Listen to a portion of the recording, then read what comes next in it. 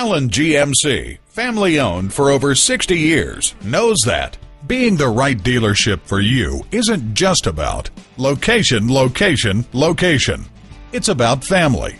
The Allen Family Automotive Group has been family owned and operated for four generations.